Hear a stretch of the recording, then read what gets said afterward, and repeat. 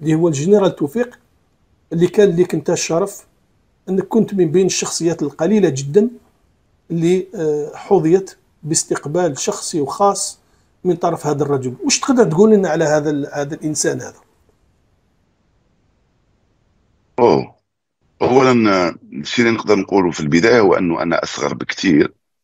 انت أنت كذلك اسمح لي بأن أصغر بكثير من أن نتحدث أو نقيم رجل لأنه أصلا لم نعمل معه يعني آه آه أوكي لما تلتقي الإنسان تشكل فكره ولكن مش فكرة فكرة فكرة شاملة. أنا الشيء اللي ممكن نقوله كحفيظ كإعلامي أنه وجدت فيه رجل اللي عرفته آه إنسان محترم ومحترم لمن يكلم آه مسيس مثقف يحب كثير الرياضة والكره هذه هذه لازم نركز عليها. وأنا عرفت وعارف بأنه الناس ممكن ما يعرفوهاش.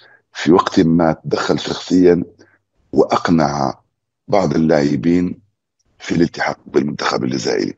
مش بشكل مباشر.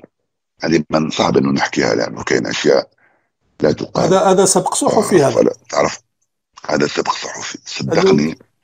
في وقت ما أنا ما كنتش عارفها في وقتها يعني صراحة يعني. أنا عرفتها بعدين. وعن طريق أشخاص آخرين وهو أكدها لي.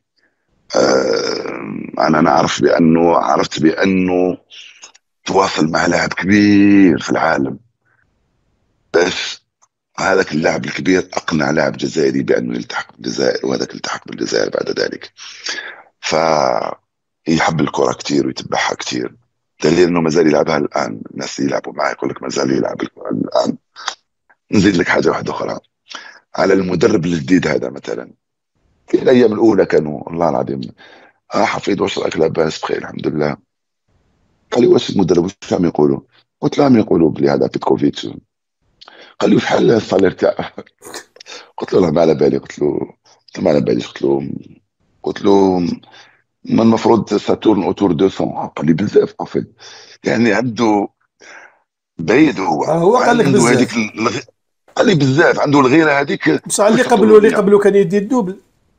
آه قلت له قلت له بصح اللي قبله كان يتيم قال لي لا لا حفيظ فو با ما نديروش لي كالكول بهذا الشكل. هو عنده منطقه يعني حبيت نقول لك مازالوا في ذهنه آه، يريد أن يحافظ على آه، على على على مصلحه الجزائر يعني كان يقدر يقول له أنا راني retraité يعني واش دخلني؟ يعني فقال بزاف حفيظ علاش ما علاش؟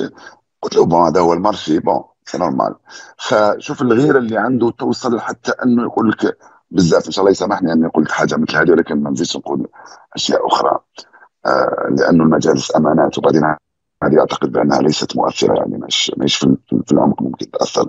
ولكن اللي, عرفت عليه هو عرفت على إنسان محترم يحترمني كثير ونحترمه كثير آه وهذا شرف لي يعني.